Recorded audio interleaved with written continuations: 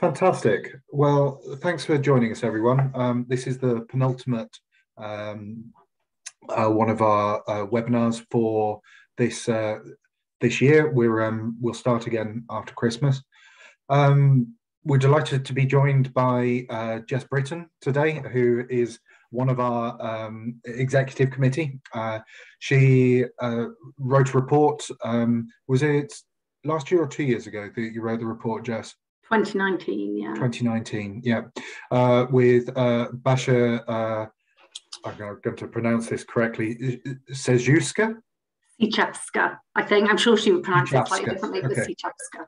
Yeah, uh, and Julie Smith um, from Exeter. Um, their report uh, was written with the UK Energy Research Centre and the Exeter Energy Policy Group. Um, and is entitled Power Shift How to Build Gender Balance in the Energy Research Portfolio. And I believe um, Jess is going to be talking to us about that work today um, and kind of reflecting on, um, uh, on what it means two years on. Um, Jess is a research fellow in the local and regional energy systems theme of the UK Energy Research Centre and currently her work is focusing on local governance and policy for smart, flexible energy systems. In the past, though, she's examined heating networks in the UK and Germany. Um, she's currently based at Edinburgh University in the School of Social and Political Science. Uh, and as I say, she's uh, she's a member of our team, and we're very lucky to have her. So, um, take us away, Jess. Thank you very much for joining us today. We're lo- looking forward to um, to hearing uh, your talk. Oh, and a, and a, reminder, everyone. Sorry, if you have any questions, please feel free to post them in the chat during Jess's talk. Um, alternatively, uh, I'll field questions at the end. Okay. Yeah, that would be great. I don't think I'll be able to see the chat when I'm presenting. Um, but yeah, I look forward to the discussion a little bit later on. So I'll, I'll put my slides up in a moment and um, I will present based on the report that um, Peter just mentioned. Um, it's really nice to be here and joining you all today. Um, but um, I've got quite a lot of caveats about what I'm going to be presenting. So I'm, I'm really keen to kind of hear from you and to um, draw on people's experiences from um, elsewhere in the world and from um, other disciplines as well. So if I share my slides and get started, hopefully you can see those slides now. If there's any uh, problems as I go through, please feel free to unmute and shout so I, uh, so I know. Um, that as Peter said, so I'm going to be talking specifically about a piece of work that myself and my colleagues Julie Smith and Basha Sichevska carried out in 2019. And we also um, worked very closely with Professor Catherine Mitchell at the University of Exeter as well. Um, so I want to kind of acknowledge um, all of our work together on this project. And it was quite a specific piece of work that was funded by the Energy Research Centre over a period of about, um, I think it's about nine months with uh, the us working part-time on it, to look at gender balance within UK energy research. But um, I'll kind of use the work we did as part of that research to also reflect a bit about the gendering of higher education institutions as well. Um, if I just move on slightly, it's worth saying that um, I would class myself as a geographer, an energy geographer. Um, I'm currently ba based in a sociology department. Um, and this report, although quite uh, focused, um, I'm really keen to think more broadly about how it links to kind of other aspects of diversity and intersectionality as well. I'm having problems moving my slides on at the moment. Okay. So the core question that the work we carried out considered was whether women are underrepresented in energy research funding. Um, and to explore that question, we wanted to consider the allocation of research funding for energy research and the lived experience of female academics. So we spent some time reviewing the really very extensive literature on diversity more broadly and gender specifically within higher education institutions and within research. Uh, we then went on to spend quite a long time analysing data on women and funding, uh, interviewing a range of female energy academics at various uh, career stages, And then we produced this report that aimed to mobilise change and support decision making in funders and institutions. So it had um, quite a kind of instrumental aim in terms of uh, developing a range of recommendations for change. And, and that is what's contained within that report that the images in the bottom right corner and the link to the report as well. Um, but I want to kind of acknowledge that e even the idea of researching the energy research area is complex. It's a hugely diverse landscape with a range of disciplines, a range of approaches, um, and identifying how we place boundaries within that research landscape is complex and I'll reflect on that a little bit and clearly the um, the issues related to, to gender balance are very complex and intertwined with lots of other diversity and inclusion issues. I would also say that everything I'm saying today is contextualized in the case that um, all the things I'm saying are, do not apply to all women and they do not apply to only women. So they relate to a lot of other issues um, in terms of um, structures of higher education and funding. But one of the core messages I want to start with is that the story I'm telling throughout this presentation is not a new story. There are many studies and reports over many decades on the evidence for the barriers and biases that many women encounter in research environments. Um, and some of the reports that I've highlighted there include uh, the UK government's uh, report in 1993, which was realising our potential, which particularly focused on gender in STEM subjects and identified a range of uh, challenges and barriers to be addressed.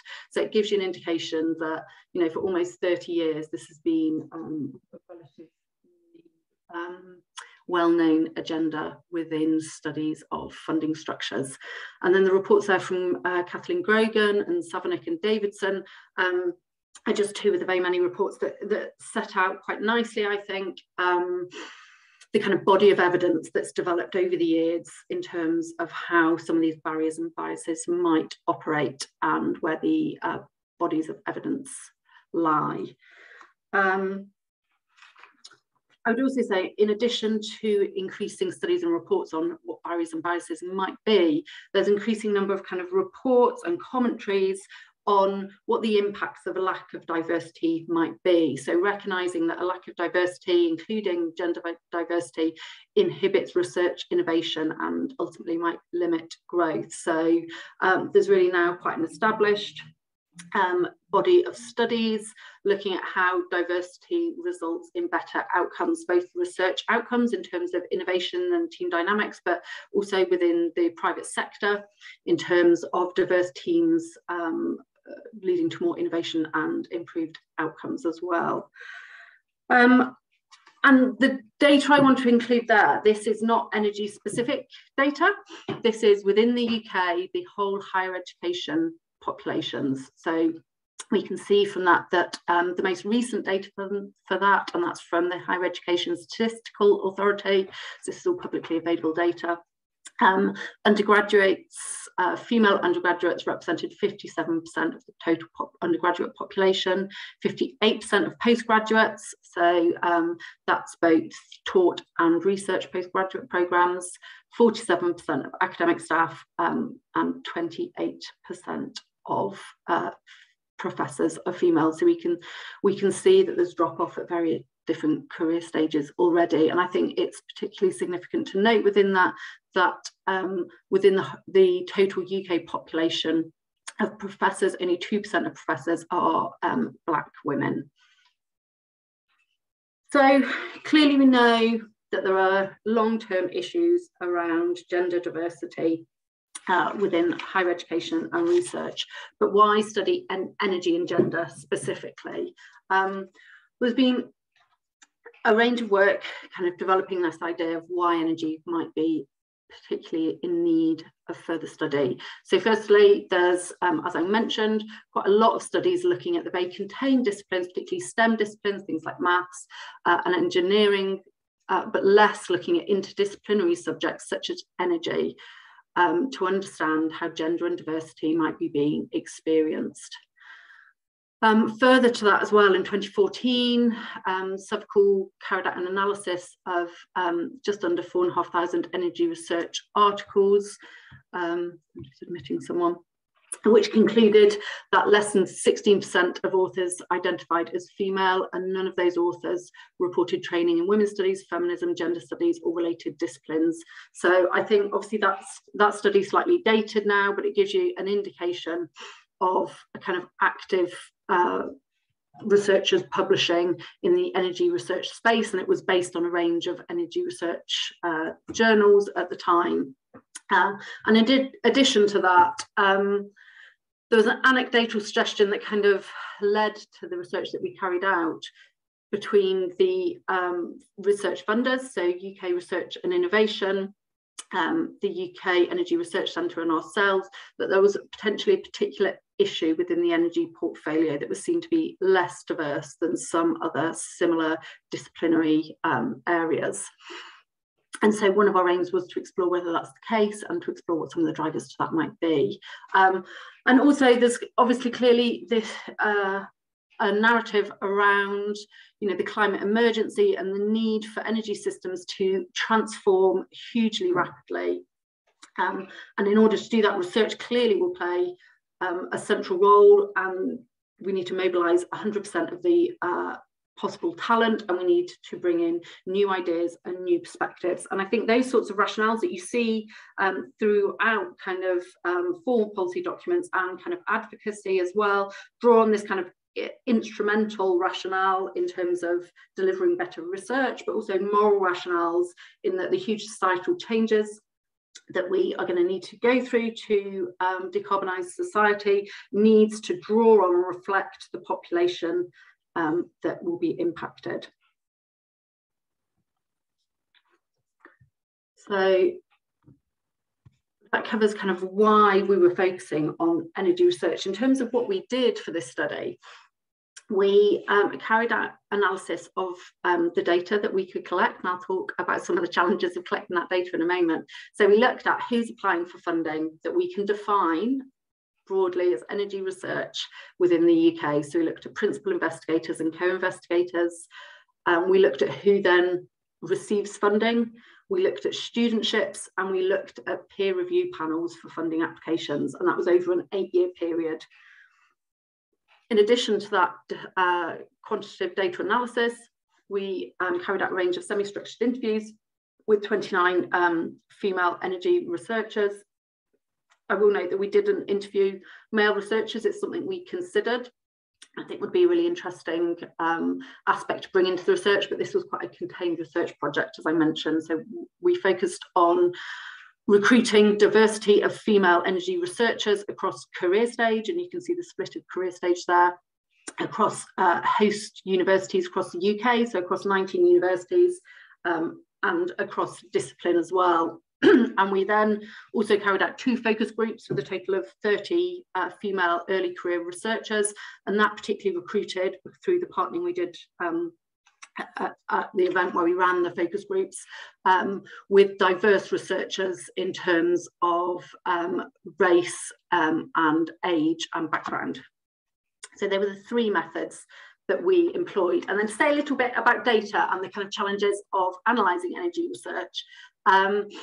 So within the UK, and I'm aware not everyone is necessarily researching in the UK context. So some of this um, might be either new to you or different to the research environment in which you work. Um, but within the UK, the UK Research and Innovation, which was brought together in 2017, I believe, um, aimed to bring together the different research councils and the energy portfolio is held um, within the Engineering and Physical Sciences Research Council. So clearly that has kind of an engineering um, focus, but it's not the only place that energy research takes place. Although they nominally lead the energy research research portfolio and have the largest proportion of funding allocated to what's deemed to be energy research. Funding in reality that is linked to energy takes place across, I would say, all of the other, virtually all of the other um, research councils. Um, and personally, myself as a social scientist, um, I do occasionally apply to funding streams through EPSRC, but I'm much more likely, for example, to apply to um, ESRC, so Economic and Social Research Council or something like that. So one of our challenges was trying to capture that uh, variability of data. So uh, uh, one of the key issues we found is that there's a very limited visibility of data on uh, equality, diversity and inclusion for cross-cutting areas like energy research. And this is challenging because if we look at government strategies, if we look at our you know, big ambitions in terms of the challenges the world is focusing, is addressing, these are all kind of cross-cutting issues and climate and energy being a kind of very good example of that. And so the research councils, in theory, can be can class research across all of the disciplines with their relation to issues like climate, like energy, like justice. Um, but at the moment, we haven't got the capacity to do that. So we had to go through a very laborious process of looking through multiple data sources. Um, it's also very um, intransparent, that data. So there's a lot of concerns, I think, within the Research Council about the level of data they can make available to other organisations. We had very extensive um, discussions and actually the research councils were very helpful in providing what they felt they could provide within um, data protection regulations but um, we tried to make an argument that we had a kind of public service um, rationale for access, accessing data um, on protected characteristics for analysis purposes. But it was really challenging and time consuming to do that. Um, and the data we did receive there was some degree of kind of rounding and suppression methodologies applied to that to um, ensure the anonymity of um, individuals. So in the end, um, I won't go into a huge amount of detail about the data process we went through. Um, anyone who is interested, it's kind of all listed in, in the report. But we ended up kind of combining data from the UK Energy Research Centre, Energy Data Centre, which has across um, all research councils and disciplines a database of research and data from uh, the Engineering and Physical Sciences Research Council. And that was so we could analyse data in the most granular way and also make assessments of how much people are funded rather than just who's funded. So what did we find? Well, our headline findings were that um, overall, in um, research carried out within energy in the UK over that eight year period, application rates from women are, are, low, although they're largely in line with academic populations. And I'll talk about that a bit more in a moment. When they apply, female academics generally, equally, occasionally, sometimes more likely to be funded than male academics. And we saw um, kind of tentative evidence of um, earlier career women applying for fellowships being um, more successful than men but we know there's a very significant drop off in women between studentships and the funded academic level. And there's quite strong evidence that the grants being applied for and awarded tended to be of a smaller value for women than for men. So to give you a bit more detail of that, so this is the data over the eight year period. So female applications are in green, uh, female awards are in blue, male applications in pink, male uh, awards in blue. Um, so the overall female academic population within EPSRC's portfolio is 17%. So female awards for energy research varied uh, from 13.5% female to 17.3%. So largely in line with what you'd expect in populations, but um, they've historically been been slightly below the academic population and just now reaching that in recent years. And you can see 2016 to 2017 18 there was a slight increase. Um, application and award rates tend to be quite similar and um, some small increases, as I say, in success rates very recently, but we're limited in our ability to be able to do kind of statistical analysis on that data, partly because um, we would have liked uh, a longer pathway of data with more years, but also because of uh, the suppression methodology that I talked about a little bit earlier. And when we expand that picture to include the uh, broader Research Council data, so um, the social sciences as well, we actually see a very similar picture, which I think was quite surprising for some people, because there's this perception that the social sciences are far more diverse than more engineering-based disciplines. Um, and there was a very slight change, so uh, closer to 20% um, application rates and awards, but actually it was a, a, hugely similar picture for social scientists and physical scientists researching energy. But who gets the highest value grants? It's not just who's applying and who's getting funded. It's also about this, you know, perceived prestige from the very large grants. When we look at that data, uh, for grants under £250,000, 46% of women were receiving grants within um, that band, uh, as opposed to 34% of men. Uh, for grants below 1 million, so 86% of women were receiving grants that were of less than 1, women, 1 million pounds, whereas 76% of men. Um, the balance between um, 1 to 10 million was more similar, but it's significant to note that no women were allocated grants of over 10 million pounds. And that's where we saw quite a different uh, quite a big difference because there was um, a not insignificant number of men who were awarded those highest value, highest prestige grants. Uh, and this has actually been supported following on from this work. Uh, EPSRC themselves did a review of their grant, particularly focusing on their large grant portfolio and identified this as a particular area of concern and particular area that they want to tackle. So the review came out quite, quite late in 2020 and they haven't kind of subsequently updated action, but it's certainly been identified as an area of concern more broadly for EPSRC, but particularly for energy as well. So going on to the interviews and focus groups that we carried out, and really the recommendations we make in our report draw really strongly on the experiences of um, the 59 women that we engaged with as we were carrying out this work. Um, and we talked to them about their experiences of their career, their experience of funding, whether they think gender has played a, a role in their career, and their ideas for um, how you could improve gender balance going forward. Um, and I really liked this image that I've um, taken from the Grogan report that I mentioned slightly earlier, that I think um, draws on this idea of the leaky pipeline and the fact that there are multiple kind of rupture points along a career path when women might uh, either experience discrimination or might experience other barriers or biases that impact on their career. And certainly we saw in our interviews and focus groups that the participants very consistently described implicit and explicit biases. And this isn't to say that there wasn't um, the reporting of lots of good practice about research cultures and institutional cultures, but an overwhelming thing that the perception of the women we spoke to was that gender played a role in their career. And actually the kind of the weight of that evidence i think all of us involved in the um, research program found really surprising. Um, there was little variation across discipline. Um, it was slightly stronger reported in engineering disciplines and social science disciplines in terms of the kind of um, explicit biases, but there's very limited um, difference across career stages.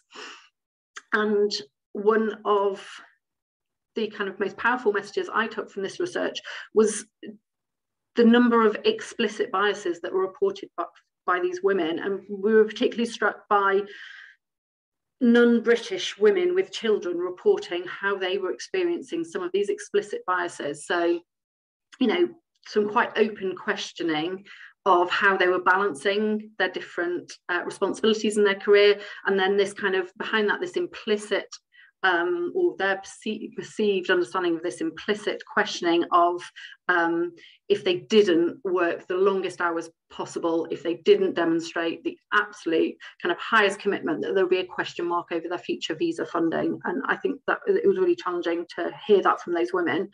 Um, other sorts of explicit biases reported were around the questioning of expertise based on gender, uh, direct questioning around plans for having children, uh, and people being told that they are the tokenistic woman or that they've only been employed on the post because they're a woman. So um, quite surprising level of explicit bias reported from the women we spoke to. Um, I won't talk through all of the recommendations we came up with. The report details 30 recommendations in total over four themes, but the core was this idea that existing practice, and there is a huge amount of work going on to address um, equality, diversity and inclusion broadly and gender specifically, but that often that's focused on kind of individual barriers or uh, individual interventions and that results in incremental change and that was a huge source of frustration for many uh, women we spoke to and actually there was this kind of desire for funding based and systemic issues to be tackled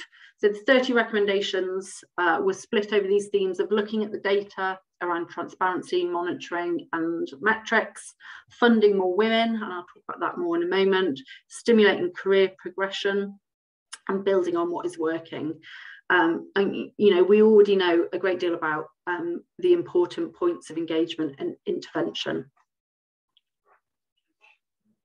So in terms of recommendations around data, um, we made some very clear recommendations around tracking, analysing and sharing openly data around all sources of diversity. Um, and I think that's an ongoing discussion in many research councils, and I, I, hope that's something that will be integrated as we go forward. But we would also argue that the numbers of women or men or any other diversity indicator only show you so much, and that actually there was really an um, an underappreciation of the value of exploring the lived experience of researchers in this space. Um, and that, that was a really valuable exercise to do. Lots of other researchers have started to doing, but to do it, but there was a need for that to be kind of mainstreamed into uh, how policy for EDI is actually shaped. And we argue that actually bringing together this quantitative and qualitative data to find out where the key intervention points, so you know, fixing those that leaky pipeline is actually really key. And doing that with our work showed us, for example, that the trend towards large grants and big consortia bids within much energy research impacts particularly on female academics. So we advocate for that as a really um, useful way of understanding where action can be most effective. In terms of funding more women, we uh, made numerous uh, recommendations, some of which were very straightforward in terms of getting the basics right around how uh, everybody can access funding. So making sure calls are accessible in terms of um, timing and process. And there was uh, still a surprising reliance on invite-only funding events, for example, or funding calls that were very short term or relied on very established uh, networks prior to the call being uh, announced but also the basics around um, assessing part-time working in career breaks in terms of how funding proposals um, are assessed at peer review. So in theory, um, these are the basics. We also made a number of recommendations, or more specifically, our participants made a number of recommendations around innovating in funding structures. So peer, the peer review process for grant applications, um, whilst having huge benefits, is is extremely resource intensive. And we need to acknowledge that it is also subject to a range of biases and inconsistencies, um, and that there are alternative ways of assessing funding structures that should be studied in more detail. And there's a, there's a huge variety of those, and I've I've linked to two articles there that um, include a really interesting debate and links to some of the um, data and studies on alternatives to peer review for allocating funding, but it can include things like quotas, ring fencing funding for particular uh, groups, uh, things like developing narrative CVs, so um, track record is assessed differently, and importantly, uh, more ambitious or radical, depending on how you look at it, things like lottery systems.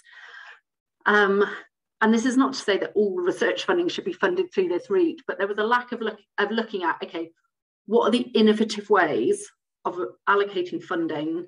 How can we trial them and test them and see what the impact is on EDI? Um, and we, we advocated for that to happen on a, a broader basis. And that particularly targeting schemes at early career researchers could be particularly effective, um, partly because these funds tend to be smaller, um, but also because we know that ECR group is more diverse across um, most uh, characteristics, including gender.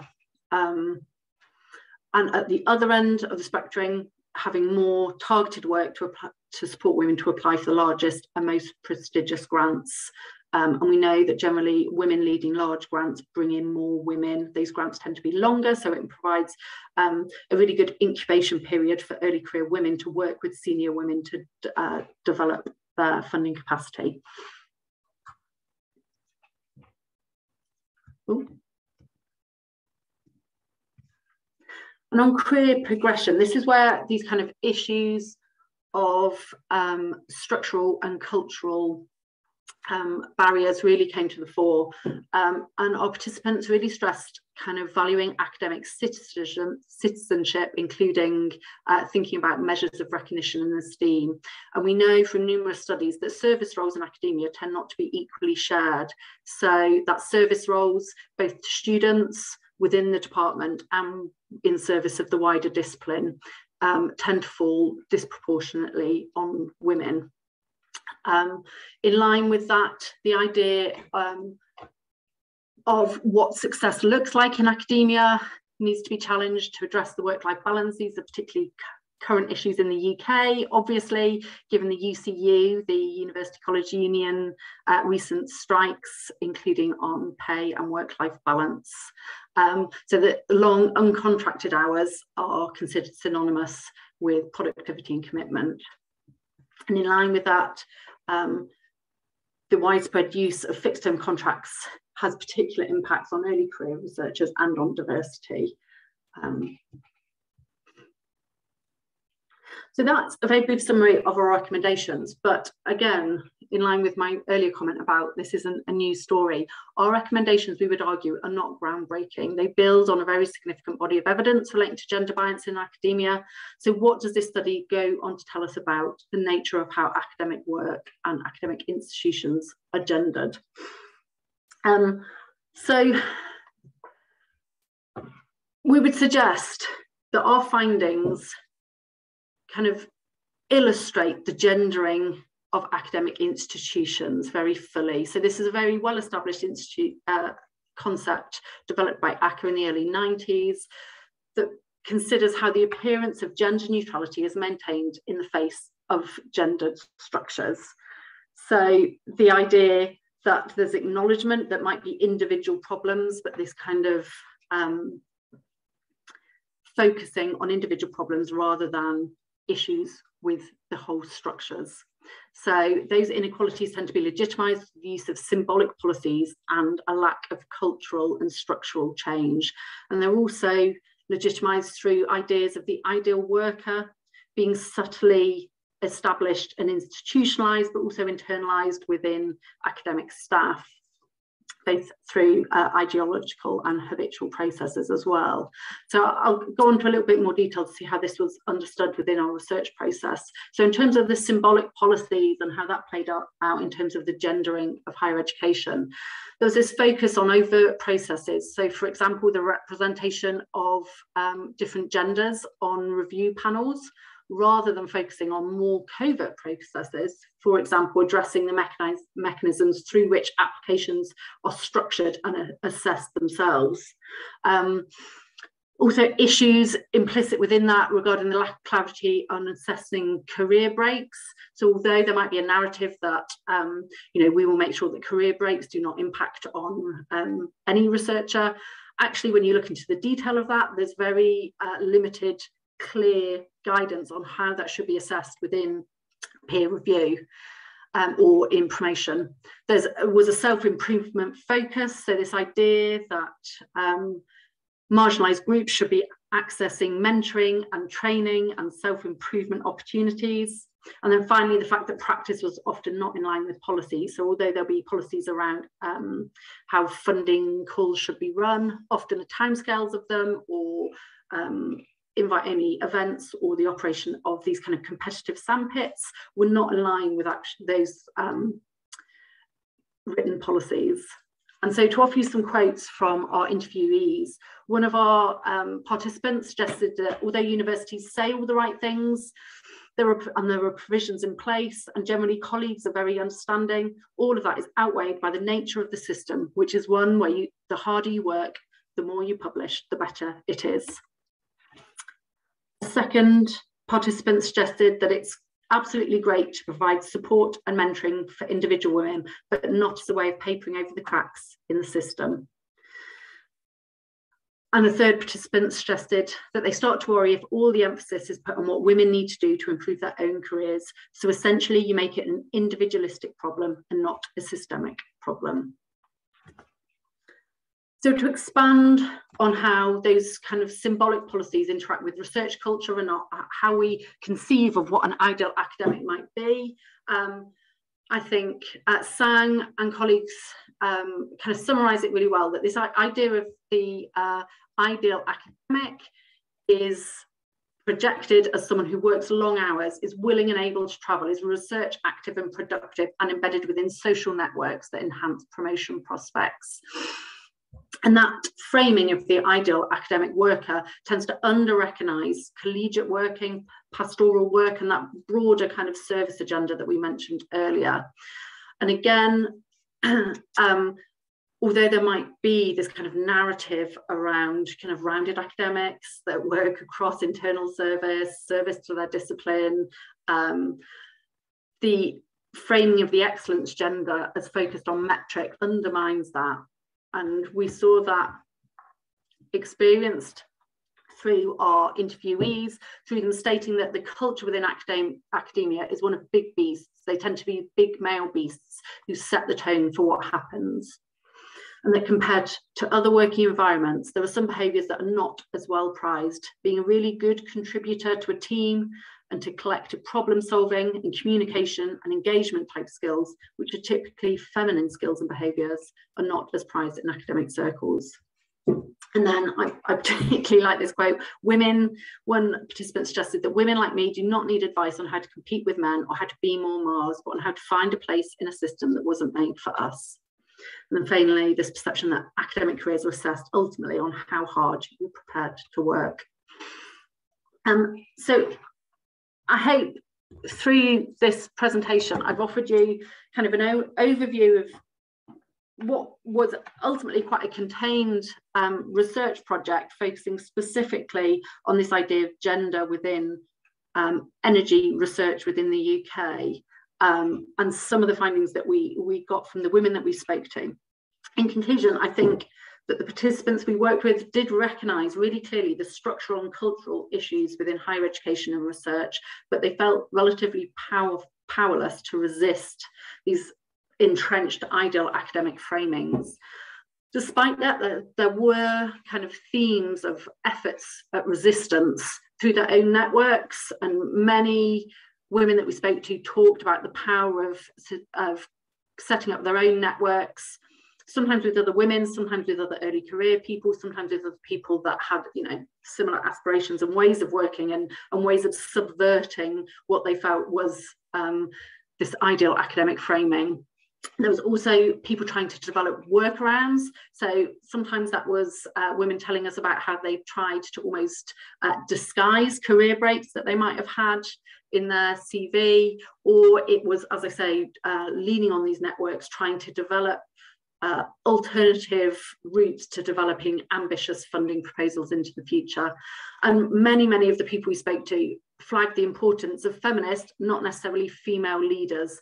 And that was through both um, the experiences of some of the women we spoke to, that having leaders that feel that they can um, create a culture within their research group that values different ways of working that are more conducive um, to people, for example, with caring responsibilities or have had career breaks or who don't want that hyper individualized uh, academic culture was really powerful. Um, I'd obviously flag, and I haven't really kind of talked about it in great deal, but the progress is needed now more than ever. We have seen increasing studies come out over recent months about the impact of COVID on the publishing and research activity of women in particular. We also know that the particular lack of progress on racism, particularly on the intersection of gender and racism within academia, um, and there's been um, various reports published over the last six months, but the one I linked to there particularly is um, a group of 10 um, black female academics that wrote an open letter to UKRI well over a year ago now, demonstrating concern that um, funding to consider the intersection between COVID and ethnicity. Uh, none of that funding went to Black researchers, and there was also concerns about um, the lack of data being collected on EDI in that process and, and also the operation of the panel to some extent. Um, and that is, uh, I think, being taken seriously by UKRI, but I think it's also fair and accurate to point out that the UKRI took over a year to respond to that open letter. So um, I would love to say that I felt that there had been huge progress in the two years since we did this report, and uh, but I think um, there's still huge challenges.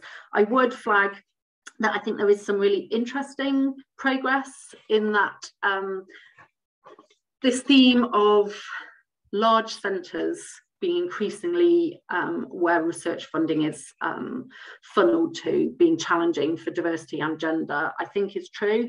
But also we have some really interesting large centres, UKERC being one of them, there's the CRED Centre in, in um, the UK, Supergen Hubs and many others.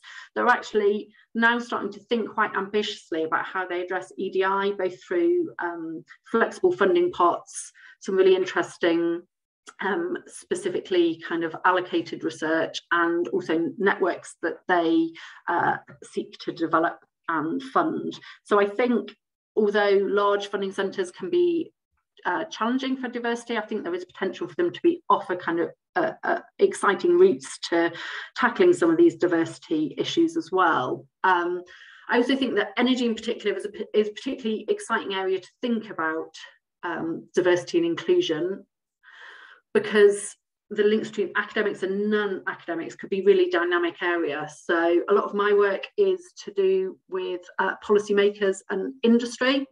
They tend to be uh, quite often quite a diverse lot, particularly in industry. There's a lot of exciting work going on in the energy industry on diversity, but equally work with um, advocacy organisations and activists could be an exciting space where you bring together more diverse academics and more diverse uh, practitioners and research participants. Um, and I think that's an exciting area for um, future research and activity. And then finally, I'd say that clearly we need systemic and not symbolic actions. And I hope I haven't presented too much of a negative picture here because I think there is a lot of positive action taking place. But I'd also argue that we are part of that, all part of that kind of systemic action as well. Um, and it's not just from the formal institutions and from the very highest leadership. It's about the kind of norms and conversations and choices that we all make. And I know that um, Jennie Stephens spoke a little bit earlier in this um, webinar series about her book on diversifying, diversifying power and anti-racist and feminist leadership on climate and energy. And I see these two agendas as really closely aligned. And certainly there's this desire, I think, to act from increasing number of senior academics and the potential for uh, better allyship between academics at different um, stages and levels and disciplines, I, I, think has a lot of potential going into the future. So I think I will draw it to close there. Um, we've got a load of references, but people can look at them at their leisure if they're interested. And I can um, stop sharing. There you go.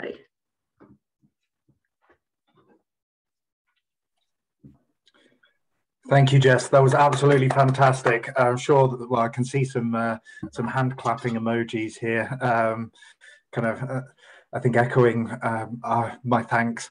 Um, really interesting and really kind of uh, careful analysis here, and really important um, stuff. I think um, uh, to to be thinking about. Does anybody have any questions? If not, I've got a I've got a question, but. I'm of secondary importance. Okay, maybe I'll, I'll ask a question uh, while other people are, are considering. Um, I'm sorry if I if this is, is something I missed, Jess, but um, you're talking uh, you, you're talking at one point about kind of different um, areas of research that uh, uh, and kind of mapping out different areas of research within kind of um, the, the field of energy studies. What um, did you identify any patterns in kind of kind of gendered patterns in terms of what kinds of research topics uh, are covered at all?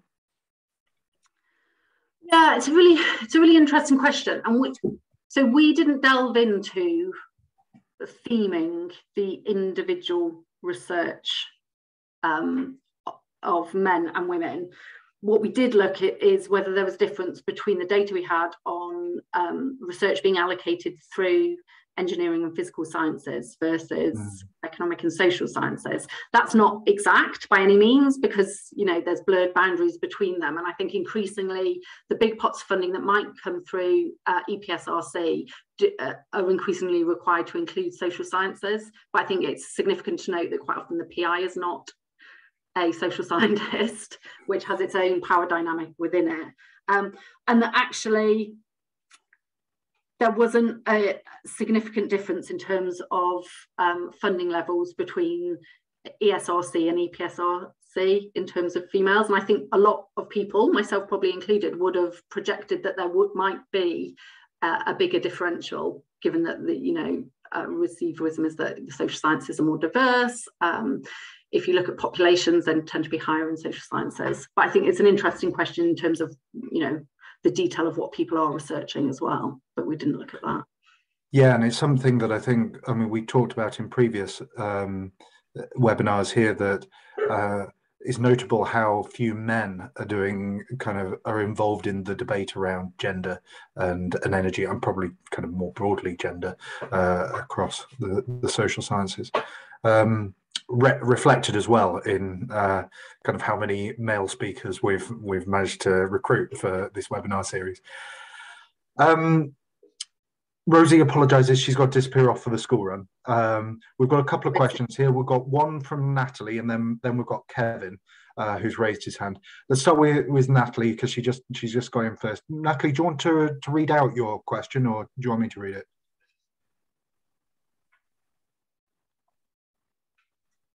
Silence indicates that maybe I should read it. Um, okay, so Natalie asks, how was uh, woman slash female de defined? Do you have any comments uh, regarding representation of non-binary, non-cis uh, in your study and in the research energy sector? Yeah, so it's a really good question. I think um, partly this gets to the core of some of the issues I was raising around transparency of data.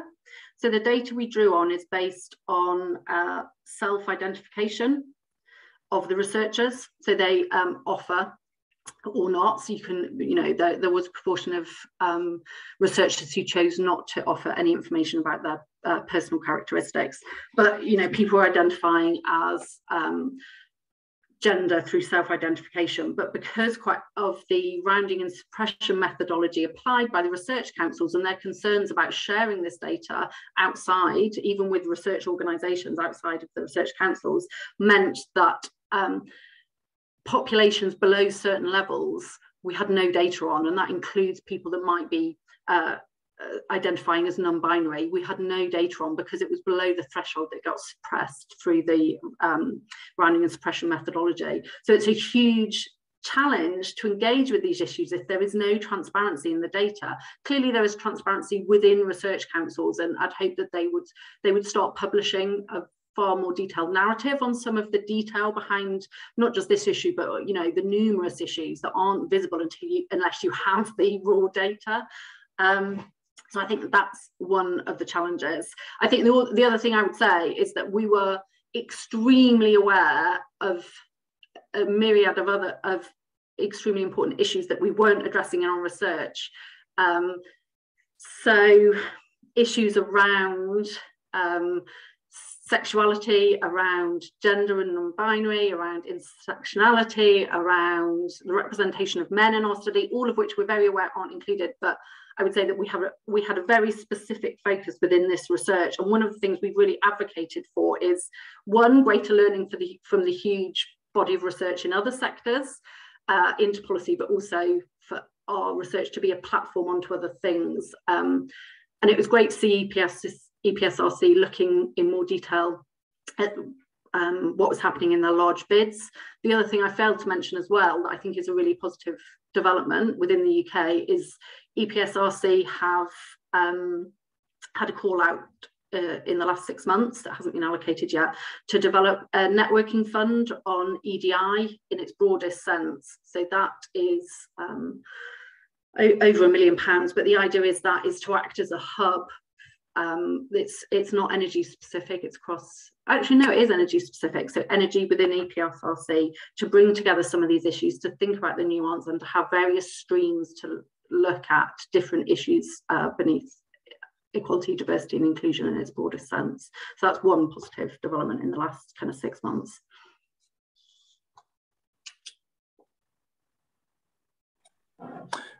Thanks, Jess. Um, and Natalie passes on her thanks as well.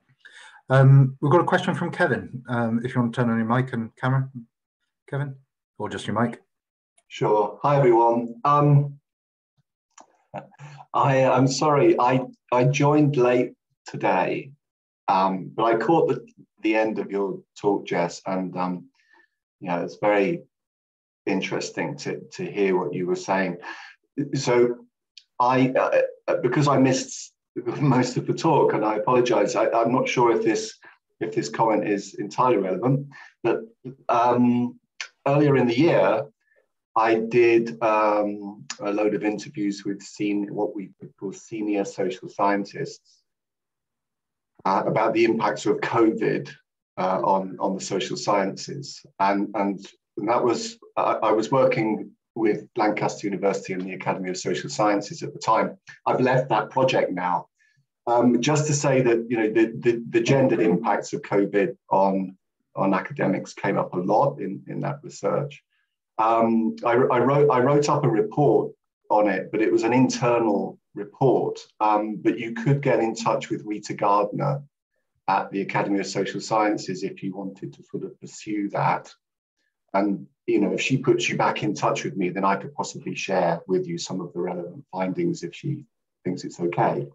And then the other thing was, in the course of doing that, res- that research, I also got in touch with a woman called um, Kris, that's K R I S, Kovarovic at Durham.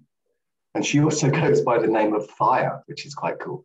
Um, and, and she did some research which would tie into the same sort of themes. And I suppose one of the one of the interesting things that came out was also compounding that was the you know the, the, the prevalence of women in in social science as opposed to other disciplines, which you know of course is is is in itself somewhat problematic with respect to the other disciplines. Of course, this meant that the social sciences were particularly impacted by this gendered impact of um, of COVID. Um, so I don't know if that fits into your framing at, all in terms of what you were talking about today, but if if it does, then I'm pleased about that. That's really helpful. Yeah. So that was one of the things I was saying is that um, our research was very much a snapshot when we did it, and I'm very conscious that uh, there's increasing evidence of the gendered impact of COVID in, COVID in research, as you say. And I think certainly the studies I've seen, a lot of them have been looking um, particularly at uh, medicine, but um, and but le- far less on social sciences. So it's really helpful to hear that those that sort of work is going on in terms of how it plays okay. out in terms of the social sciences. So yeah, if there's something published, I'd be really interested to read it, or maybe you could share it in this chat. I'm sure others would be interested as well. Yeah, it's not published. What I wrote was just it was internal, uh, you know, for the project. Um, so as I say, I, I, I, could get in touch with with Rita perhaps, and you know, see if she'd mind me sharing something with you from that. But um, yeah, I can have a go. But you know, do do try and get in touch with with Kris. Kris Kovarovic at, at Durham. Um, she did some research that you know which, um, fits into the same frame that we've been just discussing. Yeah, that's brilliant. With a with a C, Kovarovic. At the end. Yeah. Of Kovarovic, yes. Okay. Great. I, I, I just when I was looking for her just now, I googled fire and Durham University, and she and she popped up. So I could I could remember fire, but I couldn't remember her name. So you're, you're, I guess you'll be able to track it down. Thank you. And thanks. That was, yeah, it's an important topic, isn't it? Lovely. Thank, thanks, Kevin. Um, okay, we've got a couple of couple of other questions, or one comment from Antabi who says that um, uh, that the issue isn't unique to the UK at all, but it's a really important uh, problem, and that even when the conditions are changing and more opportunities are provided for women in energy research, this is often not enough because there are many other aspects that need to be addressed. Um, it's definitely not only about numbers. Uh, I don't know whether you want to comment on that or whether nod. uh, just just to, to, completely agree to completely agree really, and I think this um, this issue about international comparators I find interesting as well. So there's lots of studies looking at the context in, in different countries, whether it's the UK or wherever. I would say there's a dominance certainly in studies looking at Europe and North America, which in itself is a problem. But I think I found, or at least we found as a project team looking at the literature, there was a lack of, of studies looking at what works internationally. There was a lot of studies looking at what are the problems in different contexts, but I think something that compares around what works, it maybe links to one of the other questions as well, internationally would be um, a really interesting exploration as well. Uh, okay, uh, we, have got a, a comment from or a question from Pascal. It, this seems quite a large question. Um, what are the uh, what are the mechanisms in the UK for researchers to change uh, uh, to to change things uh, around this situation?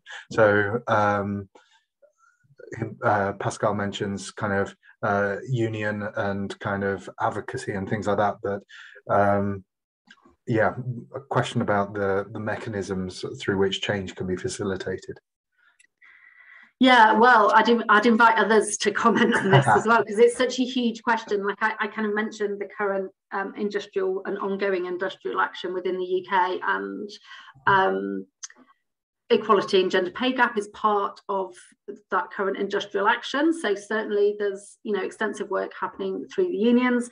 I'd also say that there's a program, I think it's just a UK program. I've never really thought about it, but the Athena Swan program that seeks um, to take forward gender equality initiatives within universities. I would say that within the research we did, our participants had mixed perceptions of that programme, that there was um, you know, an understanding that had some really clear benefits in terms of institutionalising, um, talking about these issues, um, but that there was limitations to what those sorts of um, arrangements can do and quite often they ended up depending on you know the broader operation of that department or that institution a kind of box ticking or limited in their ambition. So uh, and there's lots of initiatives like that. There's lots of initiatives within individual funders. There's lots of really exciting networks where people have got together to try and say you know what could we do that is going to be beneficial for our community.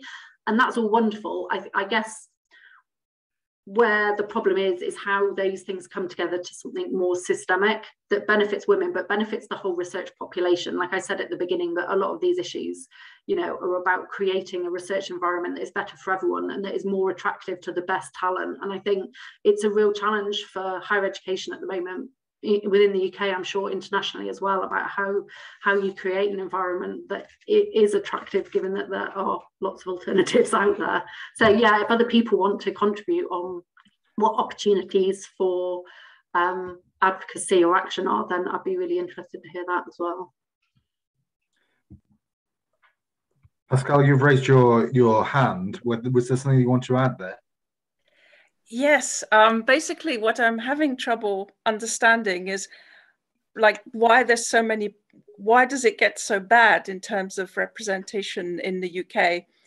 Um, because I'm based in Finland and I recognize some of the problems also that we have in Finland. I mean, we're far from gender equal um, and other kinds of equal.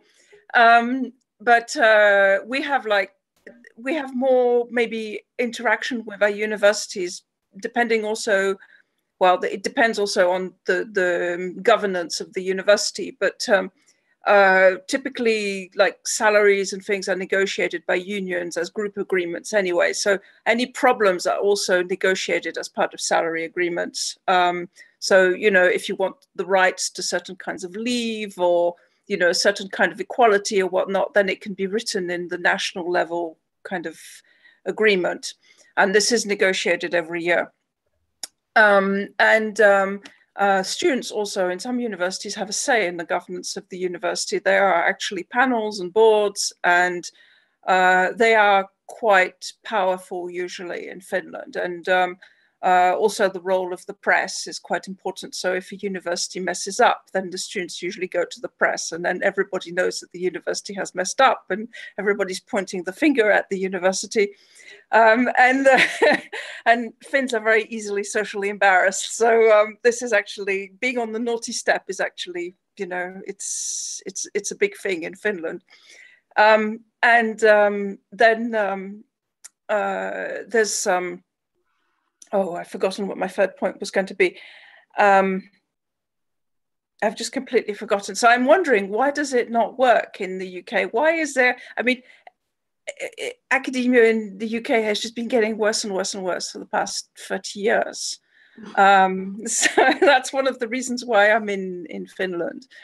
Um, so I'm, I'm just wondering, you know, we also have marketization of universities here as well, and we also have problems. One of the highest rates of discrimination against women in the workplace, for instance, discrimination against foreigners, um, discrimination against people of color, not just foreign people of color, but even Finnish people of color in education. Um, and um, it's, you know, you never hear that about Finland outside of Finland, but there is plenty of uh, plenty of evidence for that. Um, but we we actually don't seem to be in as bad a place as as the UK. So I'm just wondering, why does it? Oh yeah, and our funders also listen to us when we when we tell them what the problems are. They they generally try and improve things. like the Academy of Finland, for instance. It's maybe because it's also quite a small country, small population, so everybody knows everybody, and um, yeah, it's it's like a hugely interesting area, I think, about why research cultures do differ um, in in different country contexts. And I think some of the issues you raised certainly uh, are part of that agenda. I think it's really interesting what you were saying about the press and the fact that there's that kind of social pressure to be seen to be addressing these issues, which I don't know, arguably maybe is less strong in the UK. Um, I think the marketisation and commercialisation agenda is is particularly strong in the UK, and there's you know may, other, maybe others that have been in the HEI um, sphere for more decades than I can comment on how things have changed over time more fully. But I think there's also issues around um, kind of slowness of change of structures as well. So we have the research excellence, excellence framework within the UK, which um, can, you know, measures research success. Um, and there's various metrics in there that have been changed over time and softened, including kind of assessment of journal impact factors that are explicitly not included now. But as that it kind of persists within institutional culture. So you get this change kind of within central things. And I think that's actually really slow to, to filter down into how departments, but also how individuals assess their own success. So I think there's an in interesting thing about how you um, roll out change faster and embed it faster. And I, I'm, I'm not sure about how that differs between um, country contexts. So yeah, other people might want to comment as well because I, I, was also wondering like i've noticed even in finland that the, the inequality sets in way before it gets to the point where you're you know a postdoc applying for funding effectively. I've seen um, uh, bachelor students already facing some kind of discrimination in terms of the assignments they get. You know the men get the juicy assignments from the male professors and the females get kind of a little bit of the they, they don't get the same opportunities in terms of assignments um, I've seen cases in master students, for instance, where when they're doing their main thesis, that if it's a female student, she will be set an assignment so hard for her master's thesis that she will not be able to get the top grade. She will get a good middle grade, even though she's worked probably harder than any of the guys on the less assignment. Um, so it looks like she's less able than the guys, but she's been set a much higher level assignment. Um, at doctoral level, like the the discrimination is just I've seen things where the um, you know if if if you when, when you're supposed to be set stuff aside your research for some experience, you will be given secretarial work, organizing conferences or whatnot, um, rather than some of the more juicy stuff than the guys get. Um, so as a result, a lot of less women make it to the kind of academic level or becoming an academic level because they are already set to fail by have been given lower grades, by being given less exciting stuff to do. Um, and it starts way before a career in research. Yeah, and I think Kathleen Grogan's study that I um, highlighted in the presentation kind of draws on some of the evidence around those very early points in terms of recommendation letters and all sorts of things that are very early in someone's academic career that kind of set that trajectory and that incrementally have a, a really big impact. Um, I guess two other things I was going to say is is talking about energy research. I think there's an interesting question about, and we touched on it earlier when I, we said about you know the physical sciences versus social sciences but that you know that's obviously far too kind of blunt this idea of kind of multiple energy communities within mm. energy research and, and the need to understand the different dynamics in those communities a lot more, I think. But I think your comment about this kind of early career stage is, is really important as well. That, you know, there was some tentative evidence in the data we had around it looking like women start were starting to be more successful at early career fellowship level. Like it's very, it was very early to say that, but there was some evidence of that. Um, and clearly that's where, where, a lot of the kind of pivotal changes in people's careers happen as well. Um, so I see that as kind of a, area for a lot of positivity, hopefully. you know, a lot of people in very senior positions, it's a very long trajectory in academia, isn't it? But actually you've got this kind of uh, cohort of more diverse um, women and men um, at that early career stage that will be filtering through in the years. And I don't know, maybe maybe it was that's happened earlier in Finland. I don't know. Um, I don't know. What one of the problems that we have actually in Finland is that um, uh, foreign researchers have much less opportunity than Finnish-born researchers, and this is actually reflected in the funding structures as well for doing for doctoral education, for instance. So if you are a foreign researcher, you may come to Finland because you've been awarded a, a PhD scholarship. Um, and when you get here, you actually find that actually you may not have your full funding. It can be stopped at pretty much any moment. Um, and uh, there's also some pressures because to work in Finland, you have to be fluent in Finnish. There is so much discrimination that even if you are fluent in Finnish, it's actually very difficult to get a job. And even if you speak fluent Swedish, which is the other uh, um, uh, official language in Finland, it is still hard to get a job. Even Swedish speaking Finns have trouble getting, they face discrimination all the time.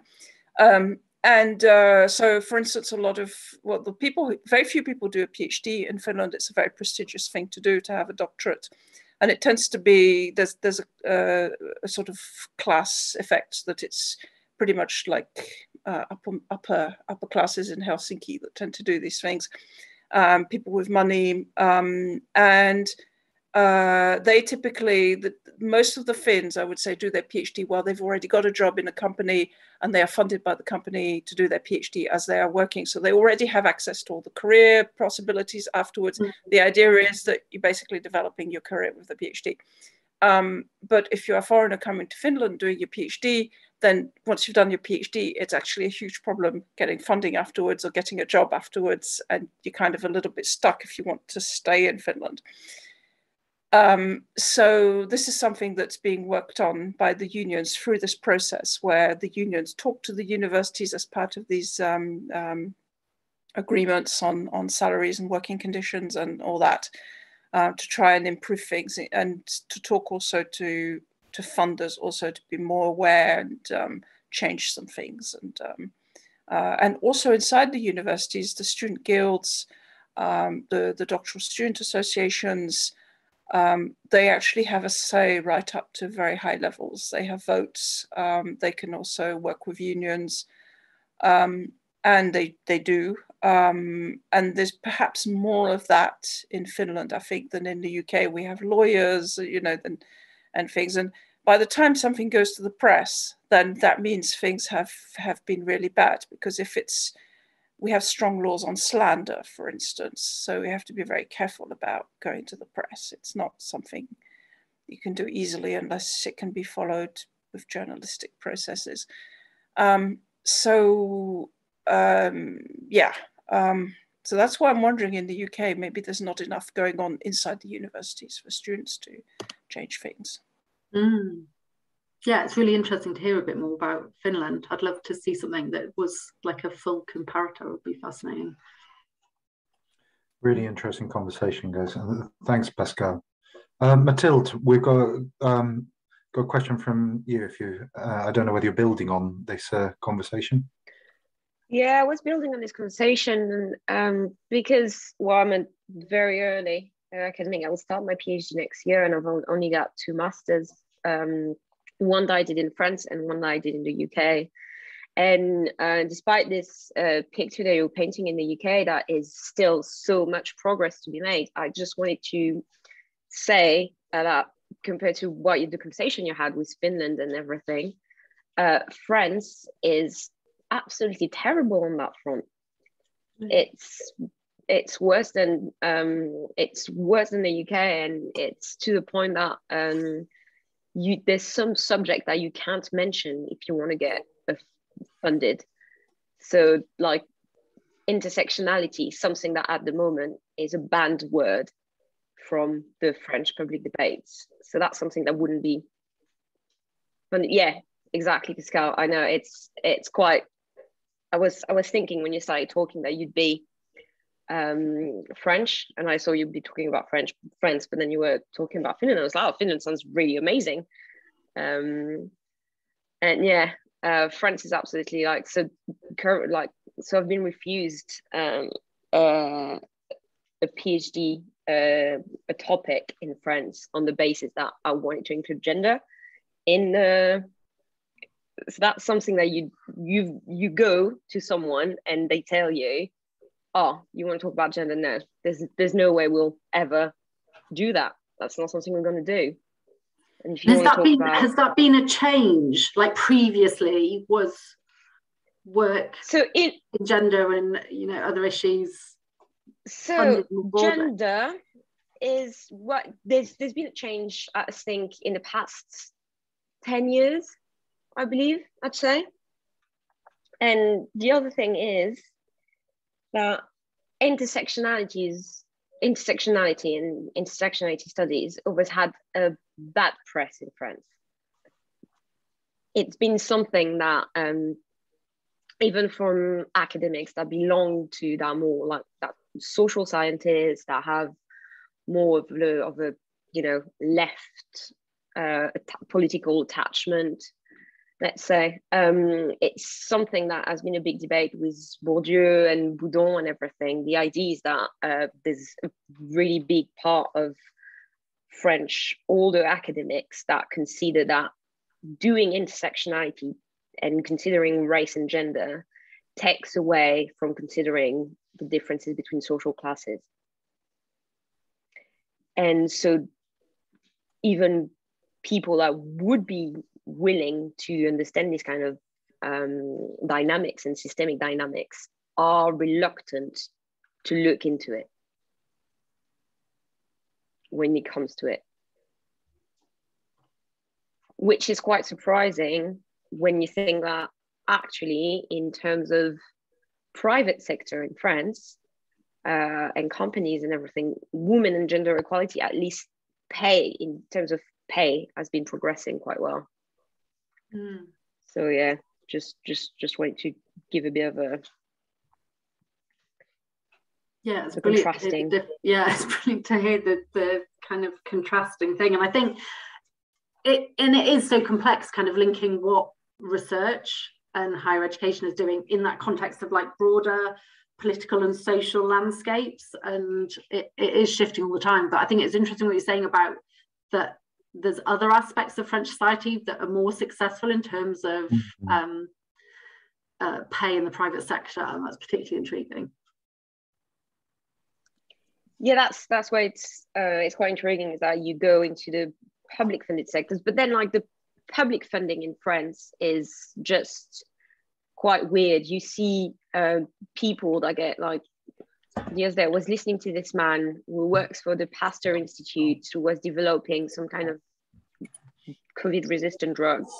And we had seen his project refuse to be like his project has had been discredited by the French state, saying they wouldn't fund it, and so he ended up had he ended up getting EU funds for it and getting published in Nature, and then getting his drugs getting picked up by um, mm. private companies and everything because he works. But the French state itself wouldn't fund him, saying there's no ground for that, and we won't fund that because we don't think it's valuable. And it happens in not just in um, social sciences aspects of things, but also in hard science, it seems.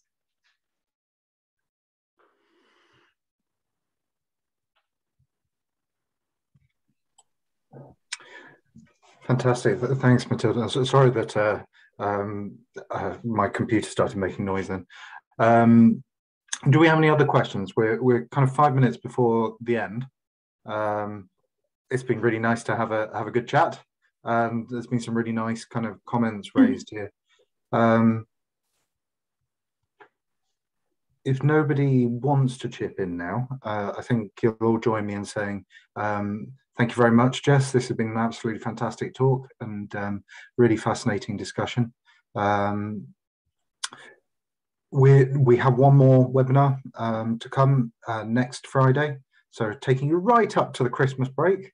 Um, that's uh, um, our uh, our first uh, kind of male presenter. Um, it's uh, entitled Nostalgic Masculinities and the Decline of Coal and Queer Futures in uh, the Appalachians. And that's with Gabe Schwartzman uh, from the University of California. So we look forward to seeing you all at that as well. Um, just want to end by kind of a, another kind of round of applause to Jess and um, look forward to, to seeing then. If if um, can't see this uh, this coming Friday, um, we've got a cat who wants to come and say goodbye to you as well. Oh, thank you. Uh, um, then Merry Christmas, and uh, we look forward to seeing you in the new year. Okay. Thank you, Take care, everyone. Thank you, everyone um, interesting comments and questions. 嗨